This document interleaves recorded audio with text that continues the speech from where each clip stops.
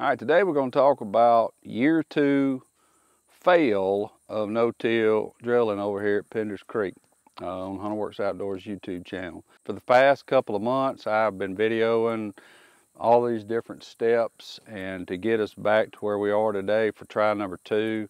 And while I was uh, getting ready to, to make the ending video, I decided to scrap all of it because anybody with equipment didn't need to know how to bush hog disc, etc. So I'm to try to briefly, and I say briefly, try to stick with it to the end here because I'm trying to save you some money and some time and certainly some aggravation that uh, Hunter and I have had to deal with the past year on trying to get our food plot started on a no-till drill rotation. The problem with videos out there today is most of them, there's, there's two versions and, and both of them are not good in my opinion. One version is that some guy goes and rents, borrows a, a no-till drill, doesn't know what he's doing, throws something out there and does a comparison to, to something else. And, and it's, you know, a, a very bad outcome. Well, he just didn't do it right.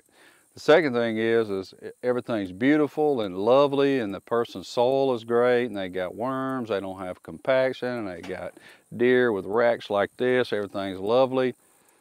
And you get sold into it like I did, go buy Great Plains 606 NT for 18 grand, which by the way, the equipment we're using is our Kubota MX6000 and again, Great Plains 606 NT. Uh, and you think you'll never have to buy fertilizer again, herbicide again, etc., you'll start no-till in your fields and everything's going to be lovely. So last year, uh, we pre prepared this same exact seed bed, all traditional methods. Uh, we disc, tilled, section haired, I think we cultipacked, uh, put some fertilizer out. Uh, we didn't get a soil sample, we didn't put lime out and we used our brand new drill last year and drilled our fall food plots. I will say fall food plots far as the planting side went fast as ever and they come up great and looked great. Uh, looked pretty good. We'll say that for the amount of fertilizer I had. I didn't have enough. All right, however, I had to use however many pieces of equipment that was, six, seven pieces of equipment and time to get it started to get a, a nice bed because what was here before you wouldn't have wanted to just no-till drill I, I assure you.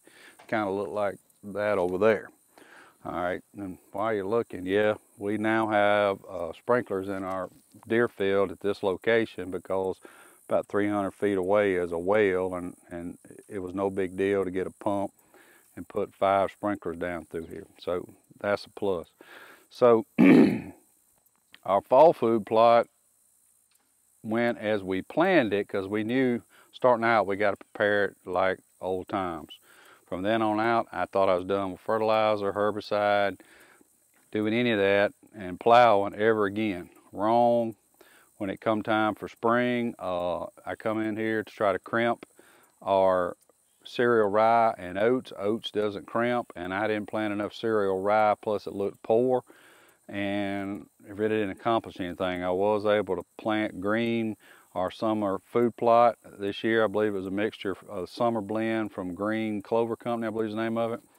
And right after I planted it, Mother Nature, you know, she loves me. She cut the rain off, and so the lack of rain and really the lack of fertilizer, it was a, a very bad job. And so, I'll be honest with you, I was just very disappointed in myself, disappointed in, in, in how no-till drilling worked for me. Again, you know, a lot of these videos out there are just are showing you three, four years into the process. So here we are, year two. Hopefully we can correct this, and, and if you stuck with me this far, this is where it helps you. Is this either you're considering no-till drilling or you have one and you just bought it and you're just out here on YouTube looking for people with some experience with it. My experience is not great but I'm also catching you at a time just ahead of where you are to let you know some of the shortcomings. So do get your soil samples done. Do fertilize to exactly what it says. Lime to exactly what it says. And we did that this year. So we came in here, uh, sprayed with herbicide, killed everything. Uh, then we bush hogged it, and, and then that's when we applied our lime and our fertilizer.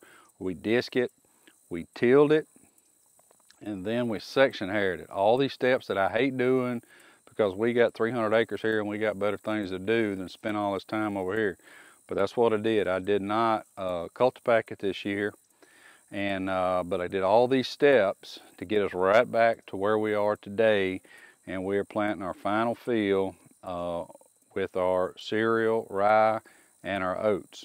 And so since we have enough fertilizer, our lime is correct, which it does take a while to, you know, for it to actually act. And I'm hopeful that by springtime, which is more important to me, planting our summer crop, that it'll be working for us.